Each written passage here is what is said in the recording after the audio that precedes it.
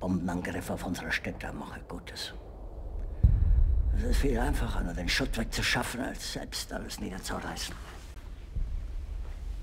Wenn der Krieg erstmal gewonnen ist, dann wird das mit dem Aufbau ganz schnell gehen. Wie viele tausend Stunden haben wir beide mit diesen herrlichen Entwürfen verbracht. Sie sind ein großer Geniespeer. Doch, doch.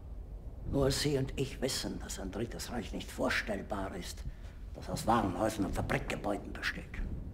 Nur Wolkenkratzer und Hotels. Dieses dritte Reich wird eine Schatzkammer sein für Kunst und Kultur, die Jahrtausende überdauern. Wir sehen die antiken Städte vor uns, die Akropolis.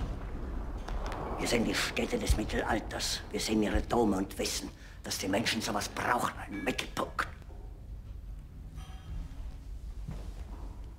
Ja, Speer.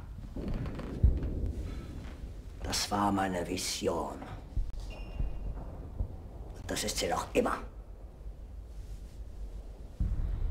Mein Führer, wenn Sie diese Pläne verwirklichen wollen, dann sollten Sie Berlin verlassen.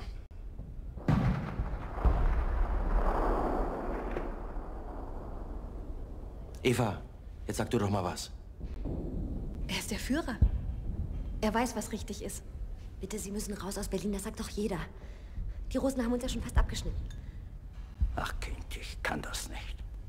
Ich käme mir vor wie ein lahmer Priester, der eine leere Gebetsmühle betätigt. Ich muss hier in Berlin eine Entscheidung herbeiführen oder untergehen. Speer. Was meinen Sie? Sie sollten auf der Bühne stehen, wenn der Vorhang fällt.